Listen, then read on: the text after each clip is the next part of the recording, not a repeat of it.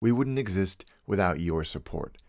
Visit patreon.com slash attache to get early access to episodes, discounts on merchandise and books, and most importantly, help us bring episodes like this to you. Here we are back with another little Q&A, lockdown attache. Not quite the same, but uh, here we are. How you doing, Greg? Yeah, I'm doing fine. Uh, all the days roll into one. And, uh, but finding many ways to keep entertained with food at home, cooking a lot more than I ever used to. But damn, do I miss restaurants by about now. Oh, I do too. I do too. And I think it was funny because food was the easiest thing to put a video together about because A, there was so much footage of it, and also it's something that we're both passionate about. And I think what we realized was when we were going back and forth putting the street food video together, there were so many meals that even though they may have been three, four, I think maybe even five years ago, that we're still talking about, and the list kept growing and growing and growing. And but there's like maybe five or six experiences that that weren't necessarily street food, but that were the food and the location, and in many cases the company, and just the the sheer awesomeness of the experience that we felt were worthy of their own episode. Totally, yeah. Yeah, there's something um, different about street food and like kind of the organized meal. You get to see a lot more of the ritual uh, sometimes in someone's culture of, of sitting down to eat. Uh, particularly, I think when we went to Japan, which I know we'll talk about, but it felt like you're experiencing some sort of theatre uh, rather than just uh, having some amazing food. Yeah, uh, you're absolutely. I mean, there's there's there's so much great stuff in street food and available in street food, but those those meals where we sat down and it was almost ceremonial, as you say, there's something magical there. And I, I you know, the the the first the one that I always think about, and I will, I will go out of my way, no matter how long I'm there for, even if I'm just going transiting through the city, uh, is Joy Hing roasted meats in Hong Kong.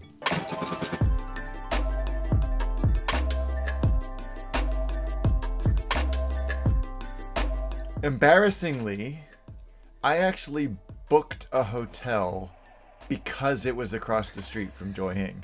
It's kind of a way to go with like every future booking, you've got to think how close to this restaurant can I be? Particularly in Hong Kong, like how close to Joy Hing is this? All their addresses should be in relevance to how close to Joy Hing it is. Yeah, exactly. And if I'm transiting through Hong Kong, I want to know how much time I have and if it's enough time to get in on the Airport Express, go eat some Joy Hing, and then go back to the flight again. And I'm not kidding.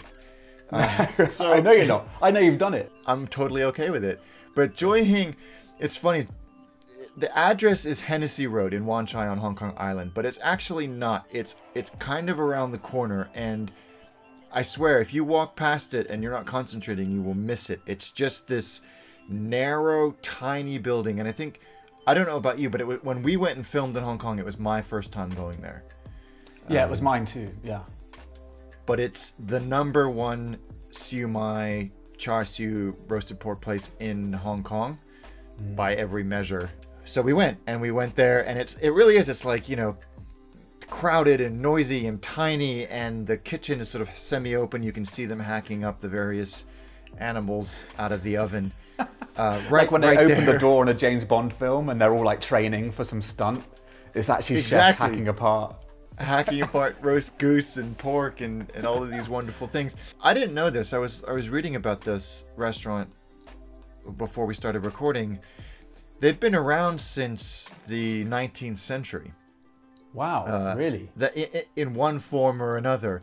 And when the Japanese invaded Hong Kong in 1941, they closed down uh, and they renamed it the Chinese word, Cantonese word for uh, Renaissance when it reopened. Uh, and cool. I, the word or the, the the the word or phrase "joy hing" now means I think some c- continuing prosperity or something like that. So I had no idea it had been such a staple for so long, but long may it continue. Exactly. Oh my God, that.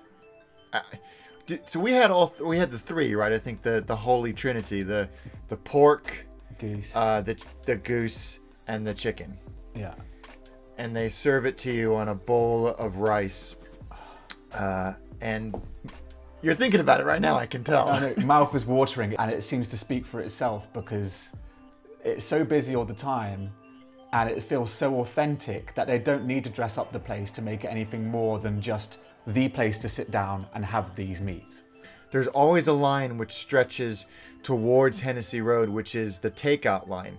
And I've done that when when like the kids are napping in the hotel room, and I'm like, I'll be right back. I'm just gonna go for a walk, and I go down and stand in the takeaway line, come Just back with all over your face. can- yeah, just exactly, completely covered in it, and I'm, you know, it, it it's fine. And they're they're so nice, and it's, you know, it's it's cheap. I think like for for the the combo plate, which is what I just mentioned, and a, and a soda or something, it's like, I don't know, 40 Hong Kong dollars, 45 Hong Kong dollars, which is nothing. I think that's under five pounds. That's mad. I think it's dangerous. I think if we lived in the vicinity of Joy Hing, we'd be filling the frame right now. There wouldn't be a part yeah. of the background. It would just be succulent goose. Yeah. yeah. I, I just love that place. It makes me happy, and I'm I. It's it's the one meal that I think I would I would push an old lady out of the way to get to. Um, and I'm absolutely okay with And I've seen you do that too. It's yeah, very violent. yeah. I make no apologies. I make no apologies. So if you're going to Hong Kong when things uh, open up again and Hong Kong finds its feet, go please and support them because if it's not there when I return, I will personally blame you.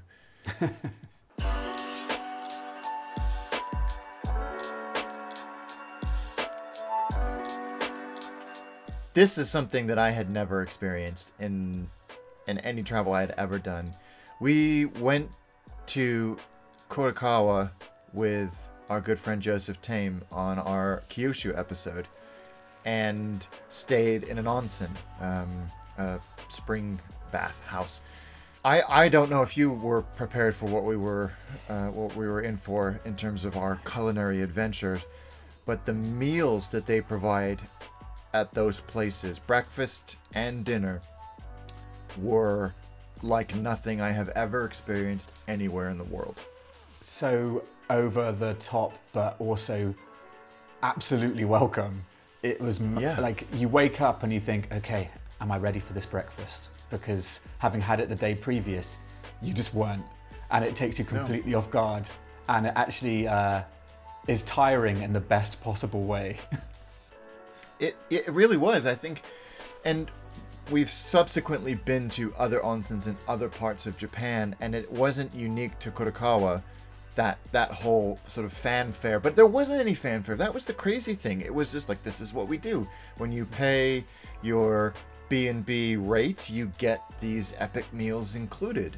Breakfast, as you say, was was in the first place. I think it was um, like roasted fish and rice and miso soup and and cold salmon and pickled vegetables and it just went on and on and on. Do you remember like the the fish on the skewer, the salted fish on the Oh skewer God, that was like madness. It had the Yeah. still. It was just like basically whole, but so Yeah. delicious. And I didn't think that you could have a fish on a stick. Excuse the phrase.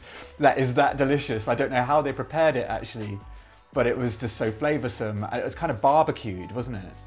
Yeah, abs- yeah, and then sort of coated in, in salt, and that was just breakfast. Everything was hyper local within a couple of uh, of, of miles w- uh, of the onsen itself. It changed every single day, and you, there was some. We had there was some. Do you remember there was a little um, little oil stove? We each got one, and we could cook some of the, the the beef on it, and it was Oh, just. Amazing. Yeah, just so great to kind of also just be trusted of that sort of ceremony. They come in and they reel off the menu, which takes about 10 minutes, and then they just respectfully leave. And you're sat here with all this equipment and food, and you just think, I guess I I'll do? start from the left and work my way to the right. I don't Yeah. even know how to eat some of this stuff. It's so alien, but every dish is so delicious in its own way. It's such an experience. There were so many times where I think we said to each other, and to Joseph, and to Lindsay when she was with us uh, in Shizenji, I have no idea what that was. I just ate, but it was absolutely delicious. It was a napkin, Alex. It was a napkin. oh, that's what it was. I mean, I, f- I, I was digging through some stuff and I found the menu from the Kurokawa Onsen, and it was not only did it have so one, two, three, four, five, six, seven, eight, nine courses, but then it had instructions on how to eat each of the dishes. But there, in in Kurokawa, um, basashi, which is the raw horse meat, that was the specialty, and it was really good.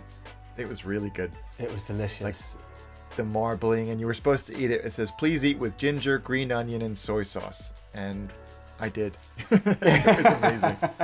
yeah, and loved every bite of it. I also loved. I think it was actually in Suzenzi rather than Kyushu, but when Joseph, our fixer, ordered a vegetarian option, and they brought him a giant sea snail. I have never had a vegetarian option like this. Yes, yes, that was one of my all-time favorite Joseph moments, of which I have many. But it this this giant sea snail, which the the the body, the innards or whatever, was it was cooked in the shell, and then the the juice was drained out of the shell, and you, it was sort of served next to it as an aperitif. You know, like you were just supposed to sip sip the the snail juice. Uh, Enjoy. I think he had mixed feelings about that as a vegetarian. I told her, I'll have a think about this.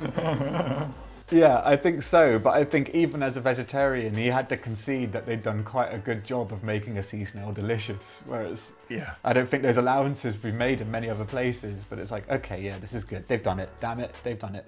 it's quite nice actually. I loved every minute of it. In fact, I loved it so much that I've booked to go back to the Kurokawa onsen in October. Like, fingers crossed that it's actually something possible with my dad, girlfriend, and the rest of uh, my immediate family. And I, I just really hope that I can get back there just because I need them to experience this Yeah. crazy feast. It was. It was an endurance sport, but I'm I I think the fact that you're going back to the same place because you want your your family to experience it uh, just shows how incredible this place was. Yeah, I'm, I really hope we manage to get there. And I hope the guys in the Kurokawa onsen are okay during this time. Like, Yeah, me too. They've been through enough. Yeah. Oh gosh, with earthquakes and all of that. So if you're ever in Japan, that's the that's the an experience I don't think you can ever uh, deny yourself.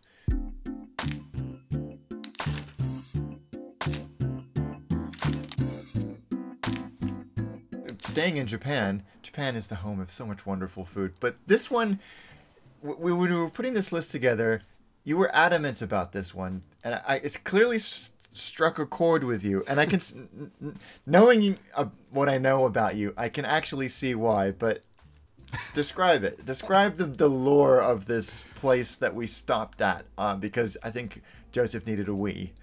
and I'm so glad that Joseph needed a wee. Well, I think when you say you can understand why I might enjoy this, I think it's because you know me as a bit of a diner connoisseur. Exactly. I I absolutely love American diners and I love the roadside meal. And Joyful, which is the restaurant where we had omu rice, is um, exactly that. It's the Japanese version of an American diner. I read an article which you sent me about a guy finding them all over Okinawa. I don't know if it's actually an American influence that maybe it came from I know American troops wanting some slice from home, but it's definitely very Japanese all at the same time.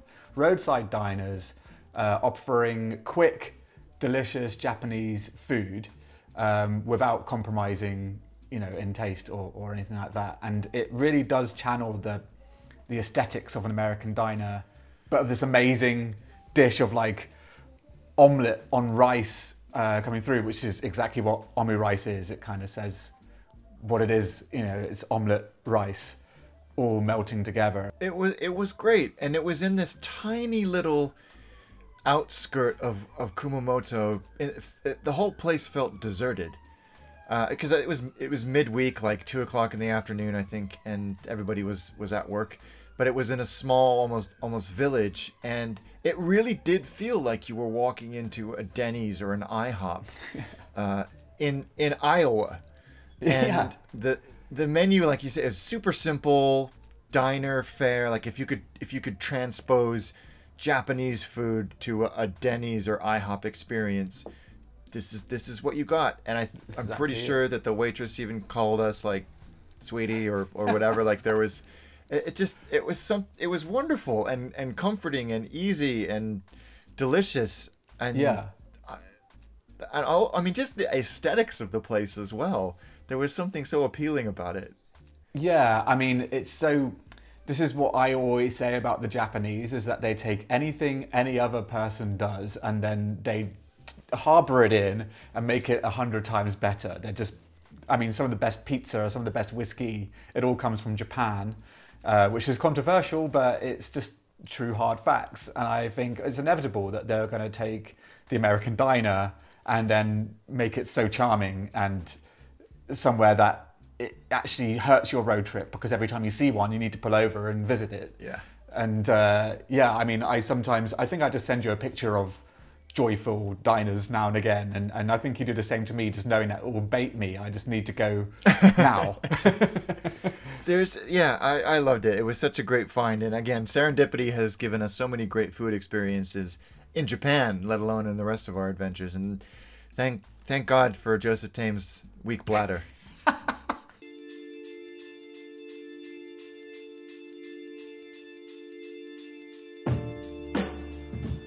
I've spoken passionately on Attaché and Mastication Nation and layovers, and basically to anybody who will listen to me about In N Out Burger on the West Coast. This immediately will raise the hackles of half of the people watching this because it's a very um, divisive subject. People are very territorial and factional about In and Out versus Shake Shack and all of the other ones, Five Guys and stuff like that. And they're all those guys are fine. I love In and Out probably because it's the best. That's just like leveling all the arguments. It's like, I like Yeah, it so because it's me. the best. yeah, I mean, I think that's it. Why, why would you like something that's not the best? Eh, But In and Out's great.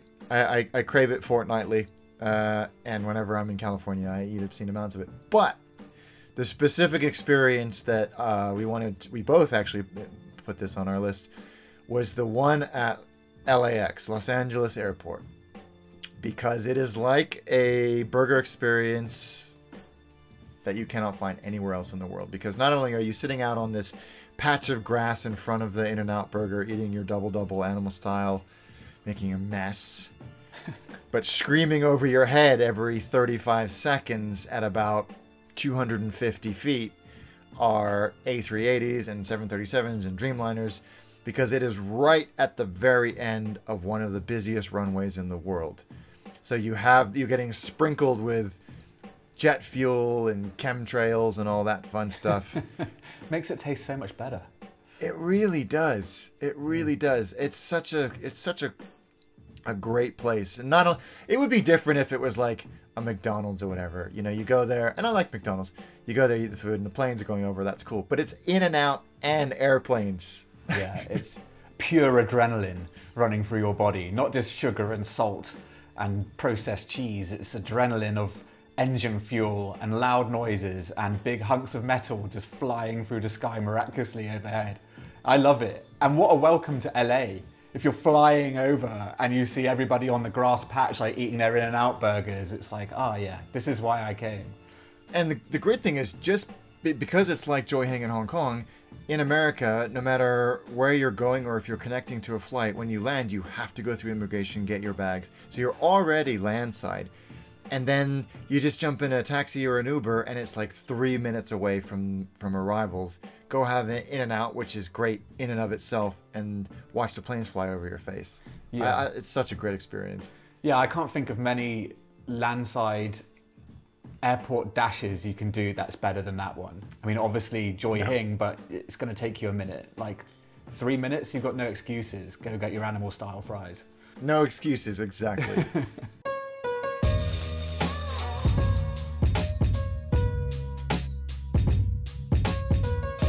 Back to Japan, and there's a reason. There's, I think, Japan is it, it's I, we are unapologetically Japan heavy in this video because we've been there more than any other country.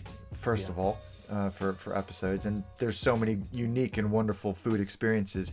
But at the end of our first trip, which was the Tokyo episode, so many of the people that we became wonderful friends with that participated in some form or another in the production of the episode, or were just friends of friends.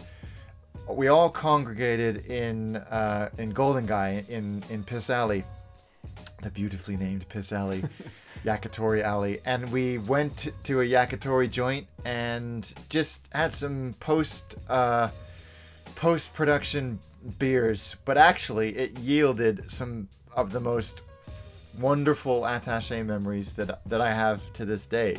Me too. Uh, yeah. It was such a send off. Five or six of us, maybe even seven of us in, in, in total, on a on a long communal table in one of the bigger yakitori joints in, in that alleyway. Um, which is a really tight like you, you have to sort of shuffle to get past a person but then you you pull back the doors and this place was, was pretty big and are there any dishes that you remember particularly about that evening The standout ones, um, of course, you had the yakitori, the chicken skewers, but then I can't erase the memory of raw chicken that we had. Uh, yeah but it was such a novelty and it actually was delicious and something I will always be able to brag to people afterwards. this dish of raw chicken was slid in front of us and i honestly thought are they are they effing with us Yeah, and I, I also thought like we have a flight tomorrow. Like I don't want to have some ugly food poisoning on whatever sort of is it 13 hour flight or something like I, it sounds like a nightmare to me. Like should is it clever to take even a small bite of this raw chicken right now? But they proved us wrong. and, and it, it is it is raw chicken it's not like you know slightly under you know undercooked it's freaking raw uh, and he explained that there's that the chicken was alive half an hour before so the opportunity for bacteria and other nasties to develop is um, is very different and that Japanese food hygiene and um, animal rearing standards are totally different from what we have in the West. Um, there's lemon juice and soy and ginger and a few other things that, while also enhancing the flavor, are antibacterial.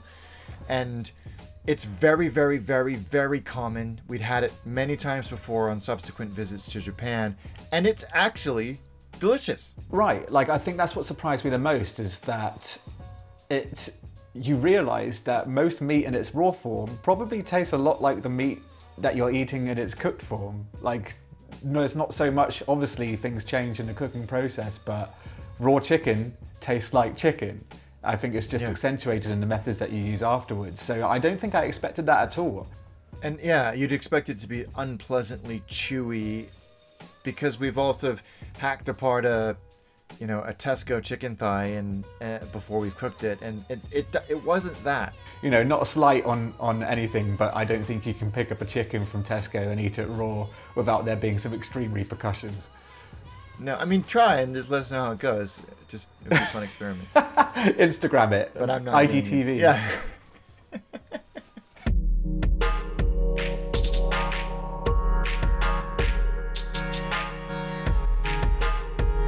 So this uh, moving on to another experience that was perhaps a little out of well my comfort zone cer- certainly, but ended up being revelatory.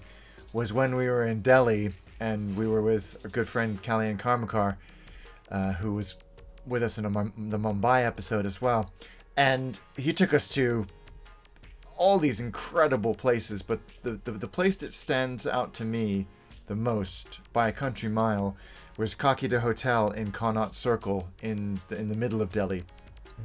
And it was, again, the same as Joy Hing. You would have, if, if we had not been with him, I am certain that we would have walked right past it. Yeah, it's Um, really unassuming again. And actually, really honest. I think yeah. it was really rare, but at that point, there wasn't even a queue. When when we went back later at night, the queue was big, and you can tell that it's a really popular thing amongst Delhi locals. But I think we, because maybe with Kalyan, he knew all the ins and outs. He got us there at a time where we didn't have the queue, so it was so unassuming. You would never think this place was such a popular spot. Yeah, i i- you're right. Because I think we, we went and found a beer, which is surprisingly hard to do outside of hotels in Delhi. And we walked past, I think maybe like even at 10, 11 o'clock at night, and there was a huge crowd around it. And I remember Kalyan saying that it's so famous and so popular that there are counterfeit versions of the restaurant all over Delhi and all over India This is um, wild. as well. I mean, you kn- yeah, you know that you've made it when when that happens. And he he ordered. What's cool is when you walk in on the left hand side by the windows are all these literal vats of of, for want of a better, or more elegant word, curries bubbling away. And he said, Kalyan explained that because they're always cooking and because it's always hot, the chances of you getting sick are nil because there's they're at a temperature where everything is going to be um, to be completely safe. And they brought us um, maybe five or six different dishes Yeah. um, which basically meat or and or vegetables in in sauces, stacks of roti, no rice, and for me the one that really uh, shook me was the goat brain curry. I haven't even had that much goat in my life, let alone goat brain, uh, but it was delicious. It really was, and it looks like looked and almost had the texture of uh, al dente cauliflower. That's pretty mean- spot on. Yeah. It, it could have been if you said oh it's just cauliflower I would have not challenged it but it was it was there and it's again it's one of those things that, we don't eat a lot of brain in in British or American cooking uh, and it, it took a little bit of a, a moment to sort of I was gonna say wrap your head around it but you know what I mean like just to, to get over the fact that it Yeah. is brain once you did that and it, you tasted it and I think I even said on camera that there I had there were flavors in those meals that I had never experienced anything like in my life. There are flavors there that I have literally never experienced. And there were six or seven dishes that I would have dismissed in the olden days because I was naive and stupid mm. because it had something in there that I wasn't familiar with—a piece of an animal or something that just that here we would have like liver where we would have just yeah, yeah. or kidneys, uh, where you literally boil the piss out of them. There, it was just, uh, it just, I, I loved that place. I don't know. I keep thinking about it. They were so friendly and kind and interested in what we were doing. They kept bringing us like more dishes to try that we hadn't ordered because they were just proud of them as well. I know another family-owned business. Yeah, it's one of the things It's we just lovely. We keep repeating about Attache is that it's a good thing that we walk an average of like what is it like 17 kilometers a day because the generosity of the people we visit they're always giving us so much food that if we didn't walk those distances uh, yeah we wouldn't get back on the plane I don't think Yeah. Oh my God. Yeah, we have to to walk it off, and especially when it's 600 degrees and a billion percent humidity like it was in Delhi. I think we uh, we earned that goat brain curry. we did So with with that five or six plus the street food ones and all of the like 150 foods that we experienced on our episodes but didn't talk about, when we are able to get out there and travel the world again, what what dish or experience or food are you just craving and would jump on a plane tomorrow to get? It's a tough one and there's so many that I just want to go around and just like gorge on every food that I've missed.